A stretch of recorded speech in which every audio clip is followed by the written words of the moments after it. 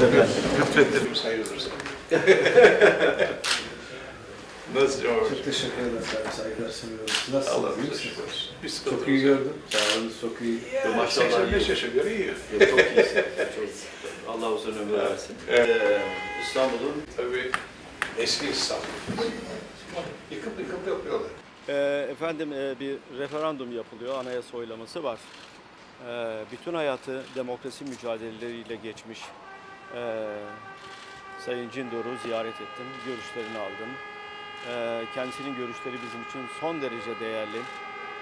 Ee, Bütün hayatı demokrasi mücadelesi vererek geçti derken aslında yasa ada duruşmalarından başlayarak, o dönemin avukatlığını yaparak Eee, Türkiye'de demokrasinin gelişmesi, büyümesi için büyük katkılar vermiştir. Bizim siyasetimizin simge isimlerinden birisidir. Onun görüşleri bizim için çok değerliydi. Kendisi lütfedip kabul etti. Kendisiyle kısa bir görüşme yaptık. Peki görüşme nasıl geçti efendim? Bunu Ee. Çok olumlu geçti.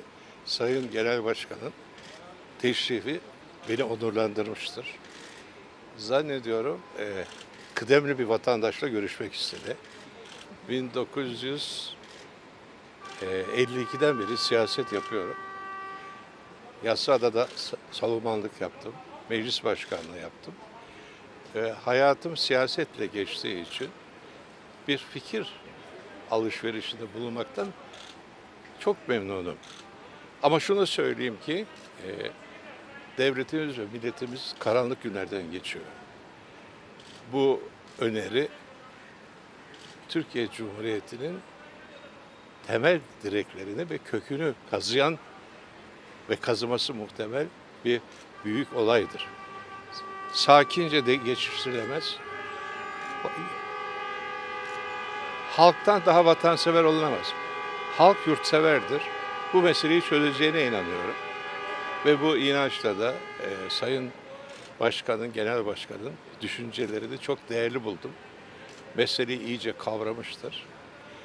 Kentsel dönüşüm gibi anayasa dönüşümü yapılamaz. Bizim anayasamız Cumhuriyet'in temellerini meclis aracılığıyla yerleştirildiğini ifade eder. Bütün anayasalarımız öyledir. Türkiye Cumhuriyeti'nin Büyük Millet Meclisi evvela meclisi kurmuş, sonra orduyu kurmuş, sonra cumhuriyeti kurmuştur. Meclise yapılan bu ağır saldırıyı kınıyorum. 12. Cumhurbaşkanı benim projemdir diyor. Bir kişinin projesiyle bir devletin rejimi değiştirilemez. Sanıyorum demin söylediğim gibi Türk halkı bu değişiklik teklifini, hatta ben buna çirkin teklif diyorum, bu çirkin teklifi reddedecektir. Birlikte siyaset yaptığımız, zaman zaman beraberce oy kullandığımız, ihtar olduğumuz bütün vatandaşlarımıza ve onun çocuklarına çağrıda bulunuyorum. Hayır.